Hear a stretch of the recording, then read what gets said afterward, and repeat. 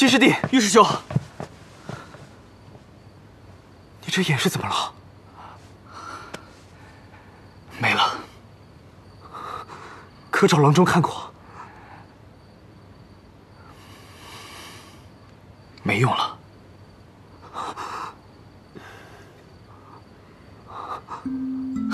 哎，方才听到师兄的脚步声，真是太好了！恭喜玉师兄双腿痊愈。可师兄，我看着你，七师弟究竟是何人所为？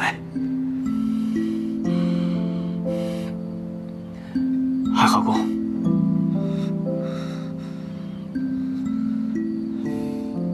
先坐下再说吧。来，师兄，我这次来，随行还带了几个人。谁？霹雳门少主雷惊鸿，他在何处？师兄，我拿我的性命担保，霹雳门绝对没有害过小师妹。我知道。师兄知道？季师弟，我这里也有一个人要见你。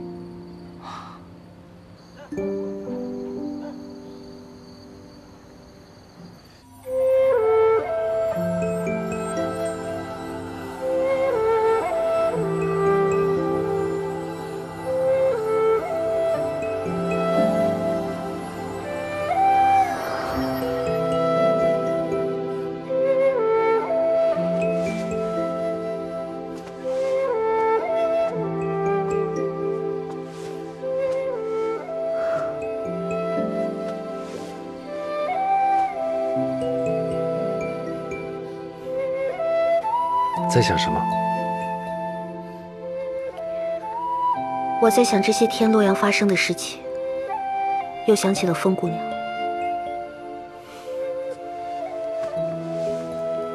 你放心，你这个玉师兄不仅在战场上运筹帷幄，在朝堂之上也游刃有余。只要被他抓住机会，任何人都逃不掉。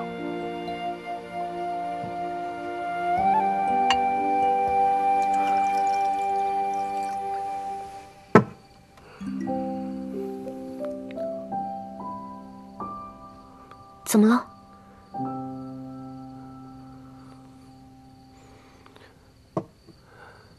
茶凉了。我去给你换新的。歌儿，嗯，要品花楼最好的茶。知道了。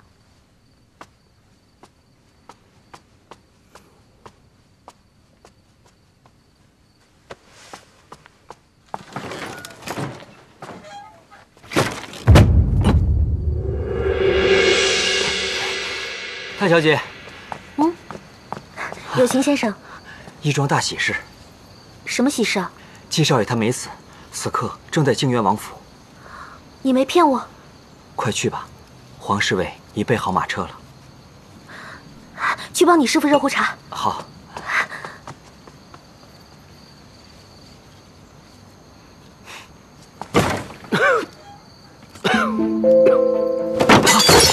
师傅。怎么会这样？不是这几日已经没事了吗？来，来，慢一点，慢点，来。为何大小姐用烈火功为师傅疗伤还是没用？寒入心扉，药石无益。烈火功也没用吗？不，一定还有办法。为师现在说的话，你要听进去。我也时日无多，即便用烈火功护心，也拖不了多久。你现在去外面替我守着门，我要用暗河内功控制寒咒。师傅，暗河心法和你的内功相悖，你这么做是害了你自己。相克亦相生，这么做，半年之内我还可以恢复七成内功，而而韩纣也会被困在我体内，不会反噬。可是半年之后，暗河心法和韩纣会一同反噬，到时候谁都救不了你。师傅，不可以啊！听我的话去做。不，徒儿做不到。你，师傅，你。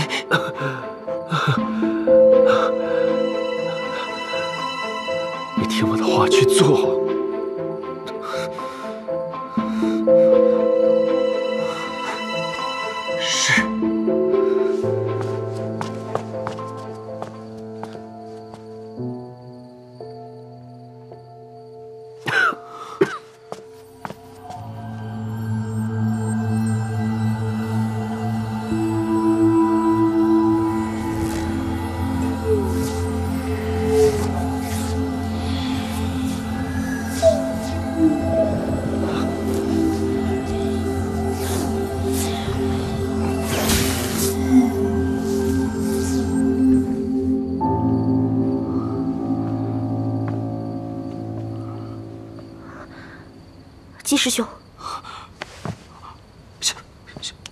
小师妹，啊！姬师兄是我，你没死。小师妹，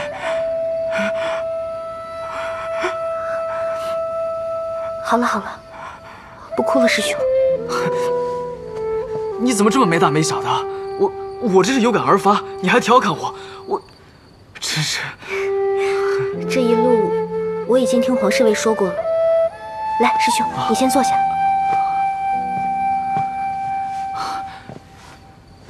小师妹，薰衣他……我知道。你知道？他自然知道。那日在移山，在移山怎么了，玉师兄？在移山，小师妹也如此对我说过。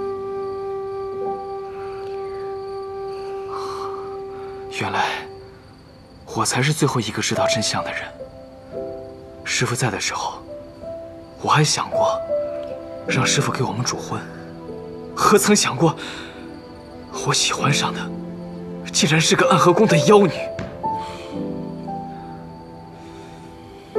季师弟，他的命运在出生就决定了，你无需自责。那毕竟是他的生母。放心，我早就想通了。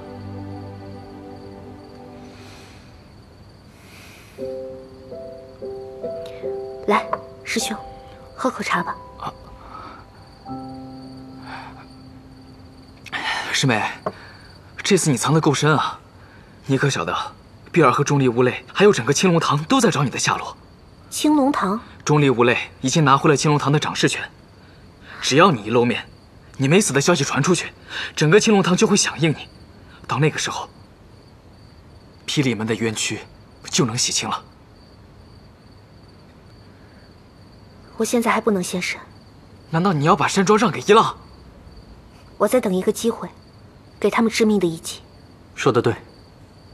山庄内斗许久，已经四分五裂，再经不起任何拉锯了。嗯，而且，在他们心里，烈如哥已经死了，我不能就这么活过来。可是，那就这么等啊，等到何时？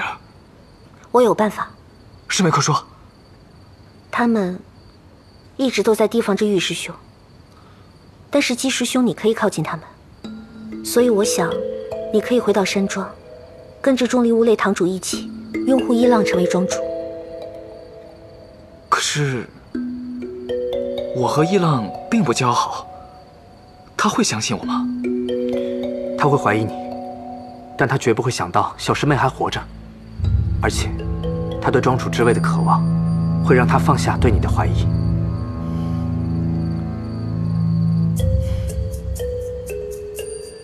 好，我天一亮就动身，回山庄。可是，我现在最担心的就是季师兄你的身体，我怕你会应付不了那些奸贼。哎，你这么说我就不高兴了。就算我现在看不见了，也是堂堂姬少爷。你什么时候见过你姬师兄怕过什么？啊？现如今，山庄落入奸贼手中，我也是每天彻夜难眠。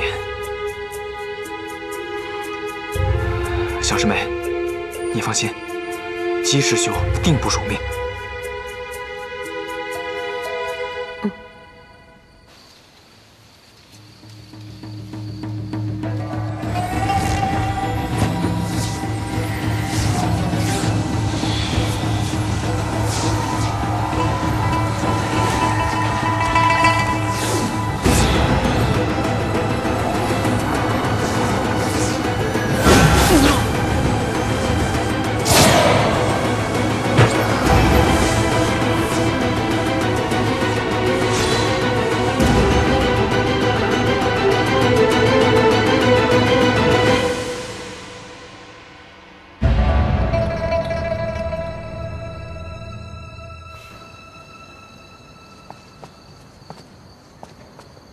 为何要替薰衣隐瞒？银雪跟我说，薰衣其实已经手下留情了。如若他真的想杀我的话，恐怕谁都救不了我。所以，薰衣他应该是两难吧。再说了，如果真的把实情告诉姬师兄的话，想必除了让他更难过，应该也没什么了。我会让玄黄挑选最好的近身侍卫保护他，应该不会出大差错。嗯，歌儿，过去在山庄，每次你从主院离开，我都想送你，无奈出行不便。今夜，就让我送你出去吧。好啊。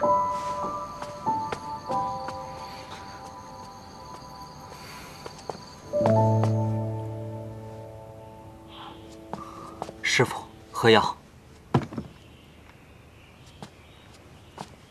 在喝什么？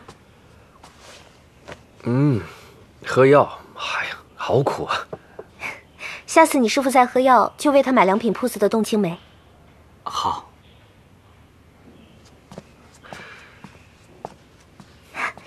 你知道玉师兄为什么叫我去王府吗？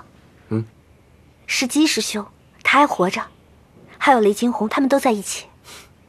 怪不得你这么开心。其实我对雷惊鸿还挺抱歉的，毕竟霹雳门的遭遇那么惨，我却无能为力。还有人比你更惨，竟还惦记着别人。我不惨呀，我身边有你们呀。他们都还活着，我就放心了。放心什么呀？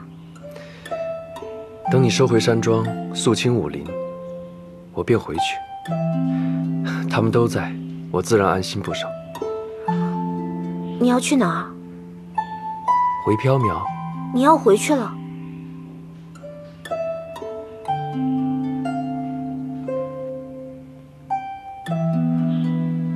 我是庄主，我不能跟你一起走。我知道。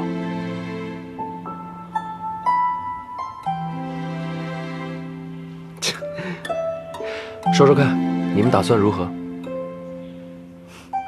玉师兄会将姬师兄送回山庄，然后姬师兄他们会推选一浪成为庄主。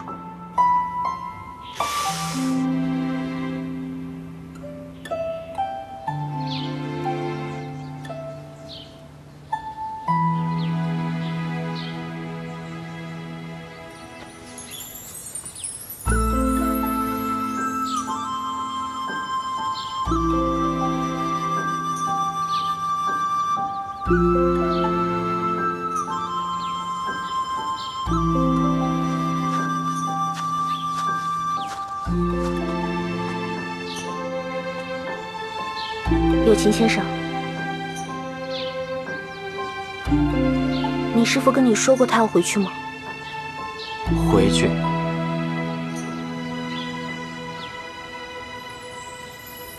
他是掌门人，自然要回去。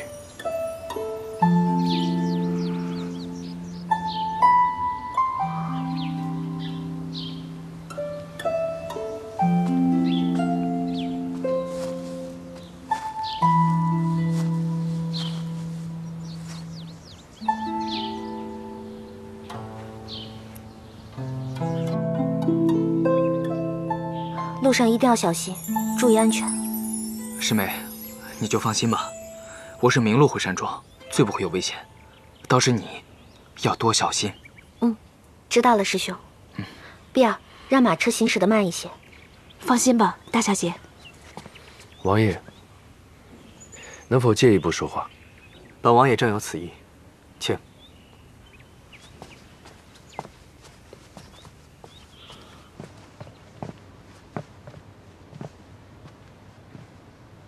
多谢公子书信相助。一封书信能为民除一大害，何乐而不为？我的时间已不多，这次来是想跟你讨论如何对付暗河宫。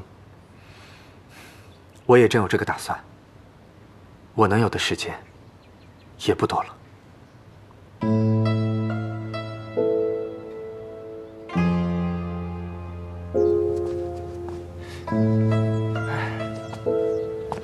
这山庄内，也就属这风院的景色最好。嗯，此处是昔日战飞天所住之地呀，是整个山庄的风水眼。义父啊，特意为战风准备的。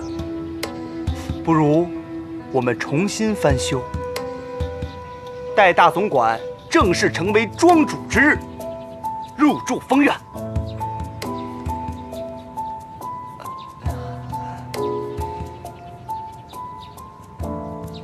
周少安排。是。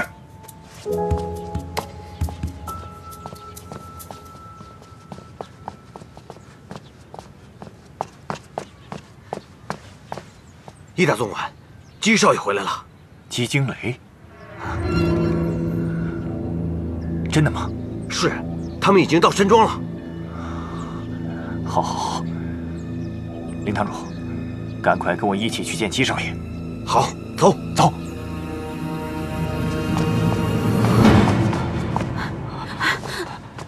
少爷，走，慢点儿。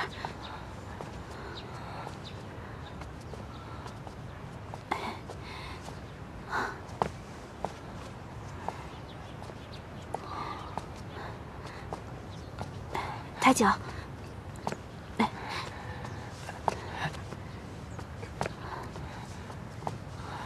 小心！少爷，季少爷，少爷，少爷，你没事吧，少爷？季少爷，季少爷，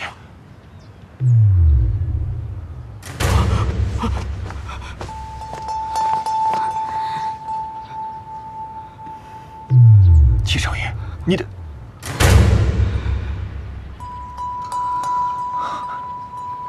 季少爷，你去哪儿了？属下派人四处打探你的消息，毫无线索。万幸啊，行。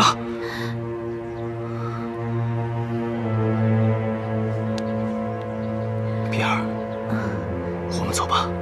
是少爷，奴婢这就带你回松院去。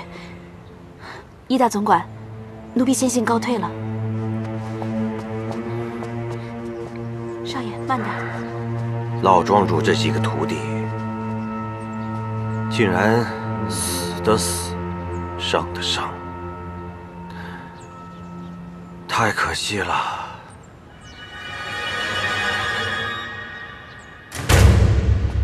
姬少爷是被雷惊鸿挟持走的。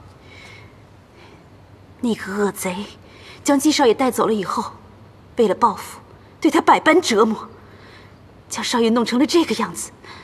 幸好少爷命大，逃了出来。可奴婢找到他时，他已经……早晚有一日，我要找到雷惊鸿，将他千刀万剐。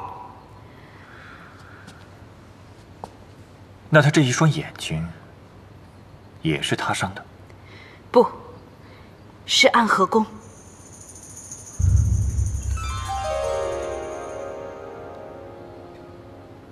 暗河宫是暗河宫三公主所为。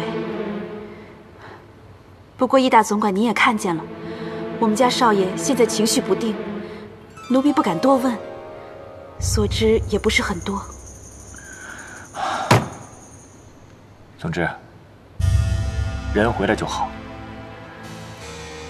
在烈火山庄里，再无人敢伤他。此仇必须要报。只是暗河宫这一年得了不少人心，再也不是那个人人喊打的邪派了。此事还得从长计议。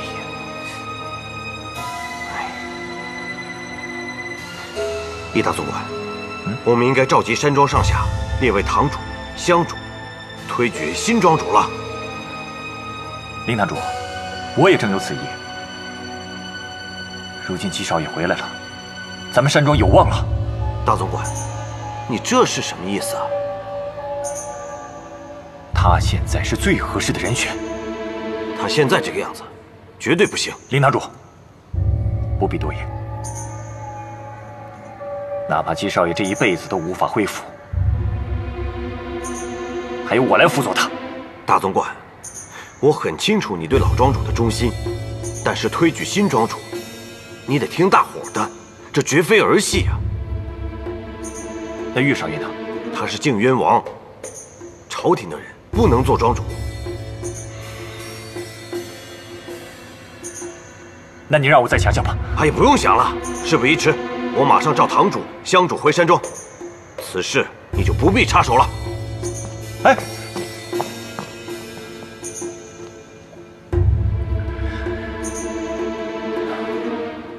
你先去照顾季少爷吧。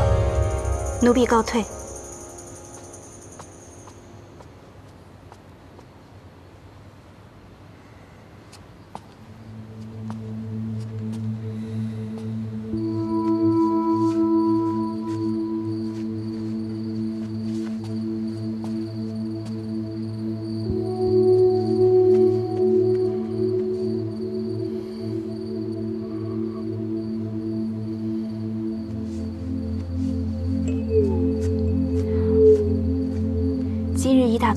推举你做庄主，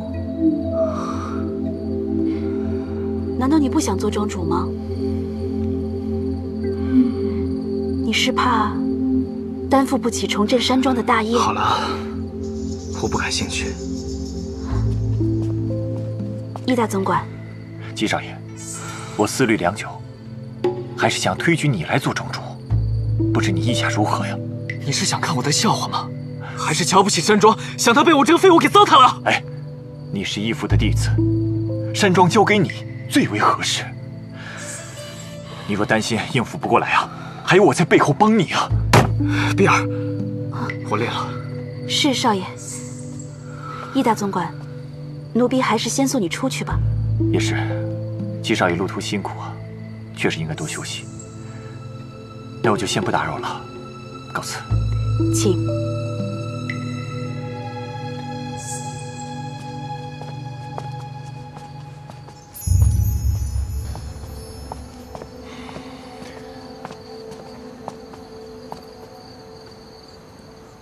我有几句话想问你。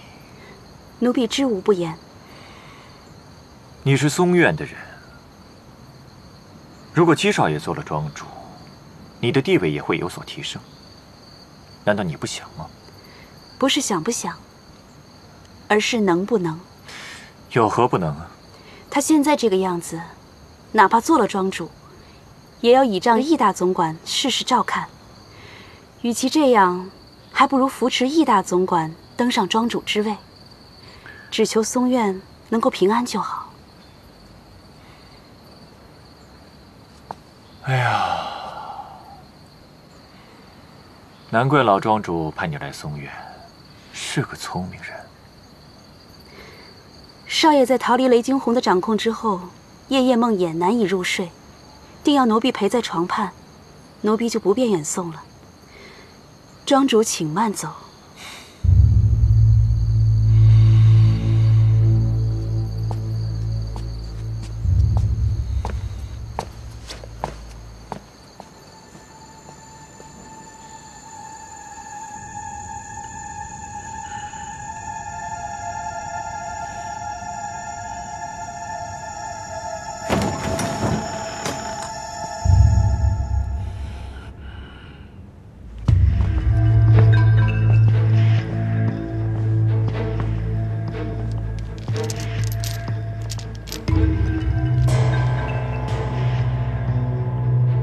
我就要做庄主了。当初列明竟相信你，没想到却落了个身首异处的下场。若他选择了我，又何必走如此多的弯路啊？哼你不配。是，我是不配。但只要我多活一日，就会在此多养你何不杀了我？因为你是我的护身符啊！哦，对了，莹一就要回暗河宫了，不知风少爷还想再见他一面吗？带他进来。真是到死也要风流啊！好，把人带进来。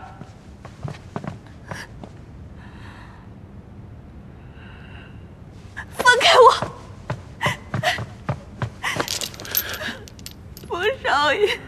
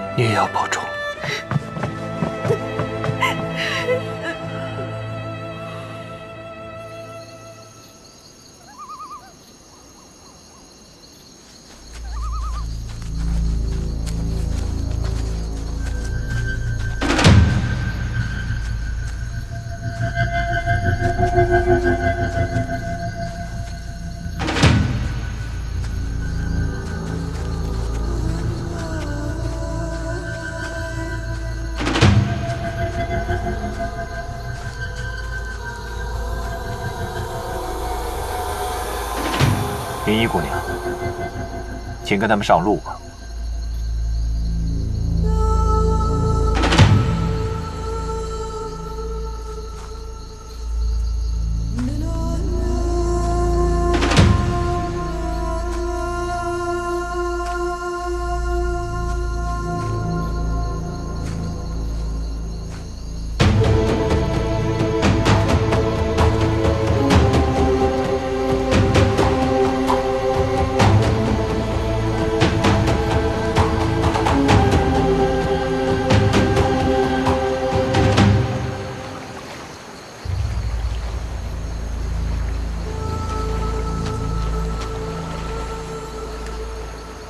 三公主说：“你也是一个为情所困的可怜人，就不必带回暗河宫受刀剐之刑了。也好给姑娘留一个全尸。如果有人问起，就说她中途溜走，失足跌入河中淹死了。”是，小姐。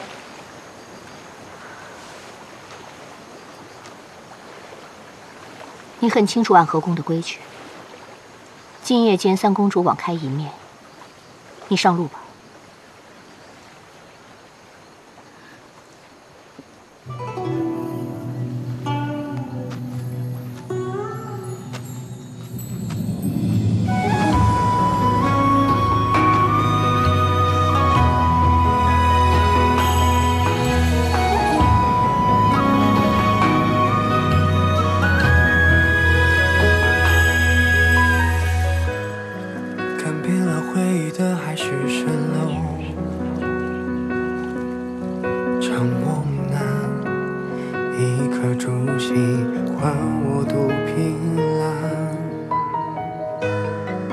今生还有多少话没说完？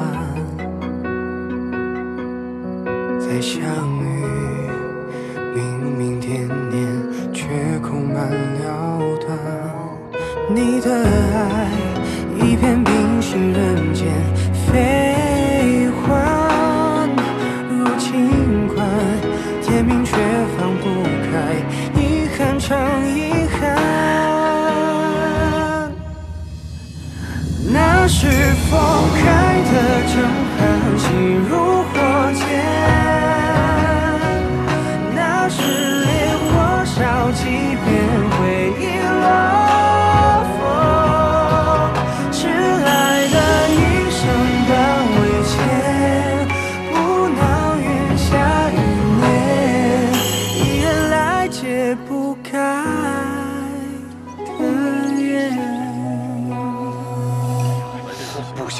行肯定不行！我觉得可以啊，这样进去考虑。让我想想，大家过来。我觉得咱们还是要从长计议啊。首先呢，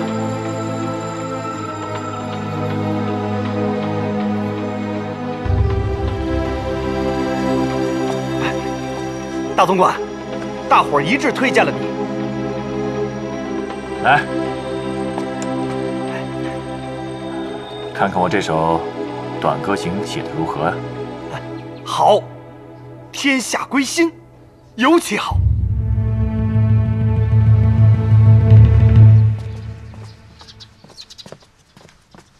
易大总管，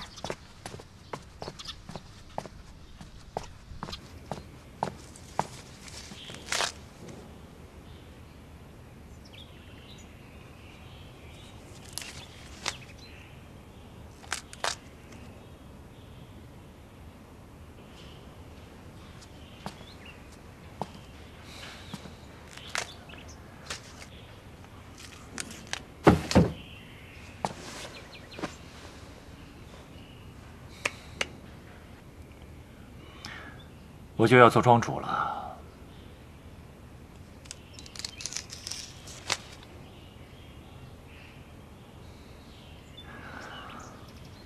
我如此做，只是不想让义父留下来的产业糟蹋在那些不成器的人手里。我想找人说说话，没想到只想到你了。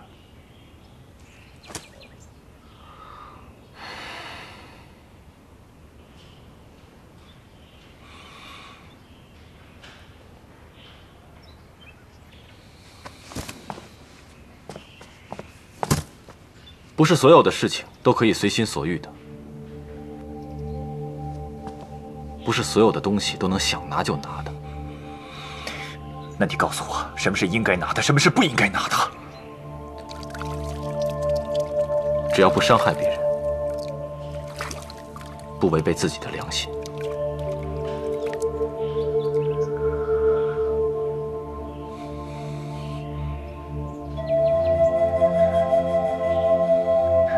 今日我来错了。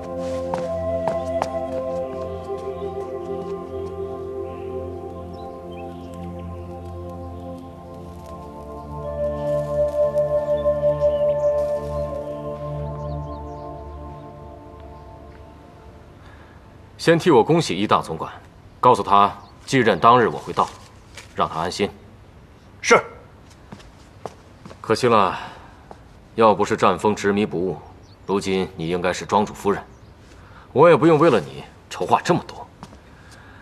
不过没关系，以我们现在的身份地位，你想要什么样的男人都有。我对婚嫁之事并无兴趣，大哥也不必再为我费心。你这丫头，去准备贺礼，随我一起恭贺一浪。我能不去吗？不能。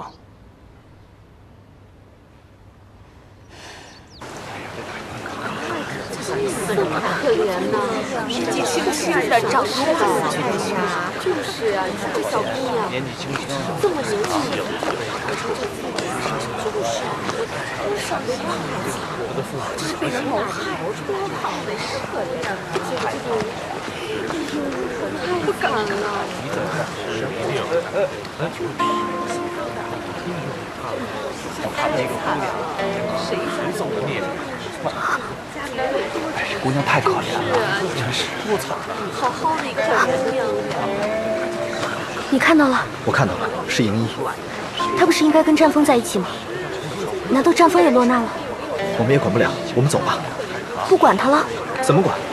难道你走过去告诉他们你认识他？如哥，我们自身难保了。哎，如哥，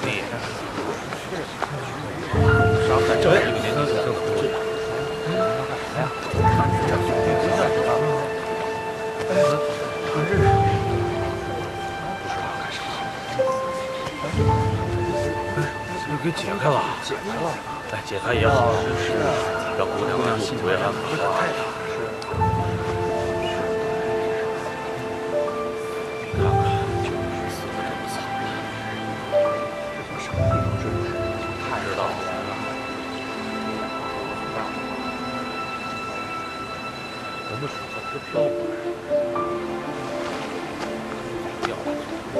这位大哥，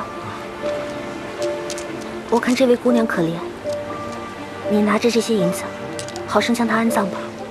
姑娘，你可真是个好人呐！这是积德的事儿，你放心，我一定会办妥的。多谢。这是真是好人啊，很好人呐，好人有好心地善良啊，好人太善良了。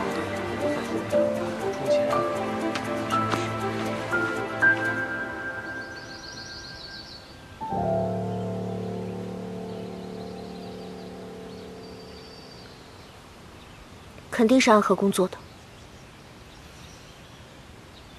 战枫此时怕也在暗河宫手里。他也算是暗河宫的人啊，反正他娘也是暗河宫的，所以他应该不会受什么伤害。你也太不了解暗夜罗这个人。没错，战枫虽然是暗夜明的孩子，但他同时也是战飞天的孩子，所以暗夜罗对他又有爱又有恨。爱起来，可以把什么东西都给他；可是恨起来，同样也可以不管死活。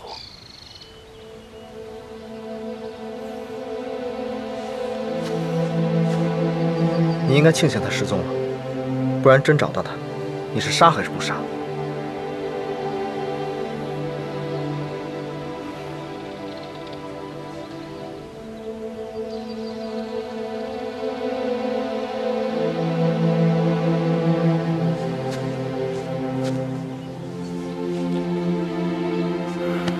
就要面对武林的群雄，战风的事可以暂时搁置吗？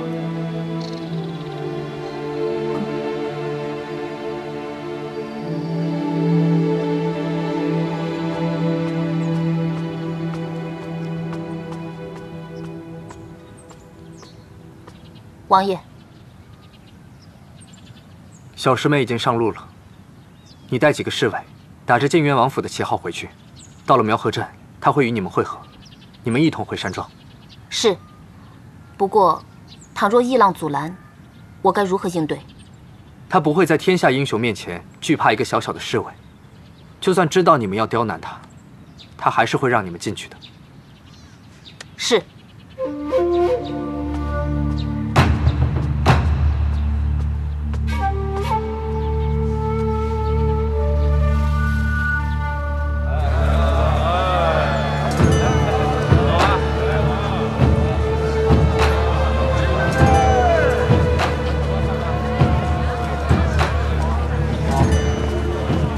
庄主，黄侍卫带着六个侍卫到苗河镇了。是。